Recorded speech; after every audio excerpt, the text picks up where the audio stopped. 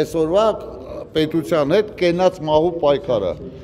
ինչը վերաբերում է Սմբատ Հակոբյանին։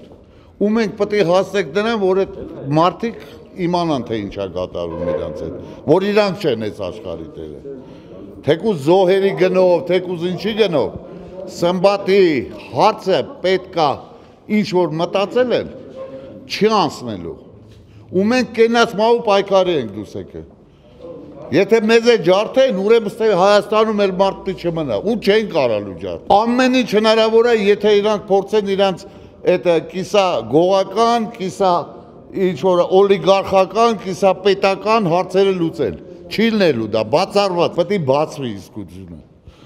Իսկությունը պետքա բացվի թեկուզ մահվան գնով։ Ու այսօր մենք պայքարելու ենք եւ օլիգարխների, եւ ֆուտբոլի ֆեդերացիայի եւ կալոր գնդակների համար ու մենք պետք է գնդակը հիմա իրաց դաշտում է պետք է մտածել թե ինչ են անում ոնց որ մեր առաջի դեպքն է ասել ու մենք մի քայլ հետ չենք եթալու